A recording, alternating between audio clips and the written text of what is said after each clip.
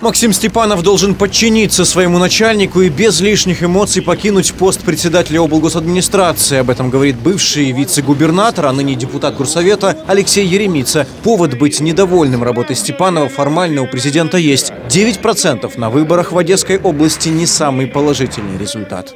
Я считаю, что должность губернатора, как и должность министров, ну, во всем цивилизованном мире, в Европе, это должности политические. И вот рассказы о том, что там хороший хозяйственник, э, губернатор или министр хороший хозяйственник, на самом деле это все в пользу бедных.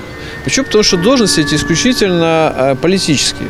И, собственно говоря, ситуация с увольнением э, господина Степанова лично для меня абсолютно ясна и понятна. Тот результат, который он дал для действующего президента, господина Порошенко, не удовлетворяет его политического лидера. Вместе с губернатором должны покинуть обладминистрацию и чиновники структуры, убежден депутат. Ведь они, по сути, работали все эти два года не только в команде председателя ОГА, но и на все еще действующего президента. На сегодняшний момент я вижу реакцию господина Степанова и очень многих его, так сказать, сотрудников контексте того, что они просто боятся, что их отодвинут э, от хлебного дерева. Вот и вся история. И вот этот флешмоб с этими карточками, с этими картинками там, и надписями, ну, лично у меня вызывает только улыбку улыбку и сожаление, что в целом, э, что в целом эти люди даже не имеют э, найти в себе силы вот просто взять и уйти, потому что Петр Алексеевич проиграл уже практически, и нужно иметь в себе силы, собрать свои вещи и уйти.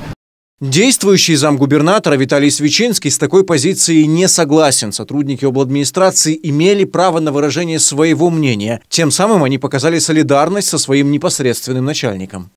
Я считаю, что э, каждый должен был высказать свою позицию. В какой способ это было сделано? Ну, было принято решение осуществить такой э, флешмоб, ну, демократия. Это возможно. Я считаю, что в нормальном демократическом обществе свобода слова, и люди имеют право высказывать свою позицию, даже в таких щепетильных вопросах. У юристов, политологов и журналистов к отставке одесского губернатора немало вопросов. Согласно Конституции, главный шаг в этом деле должен сделать Кабмин. До сих пор никаких решений правительство не принимало. Владимир Гройсман сообщил, что получил обращение Петра Порошенко. Рассмотрено оно будет 10 апреля. Должны быть для этого какие-то, ну, как бы, да, основания для увольнения, да? То есть там какие-то там, не, там несоответствия, там, должности, какие-то там, я не знаю, там, ошибки, злоупотребления, что-то еще, то есть какой-то фактаж. И поэтому там, когда завтра Кабмин это все будет рассматривать, ну, я даже не знаю, даже если они захотят, э, так сказать, пойти здесь навстречу президенту, ну, а что они в этом представлении напишут?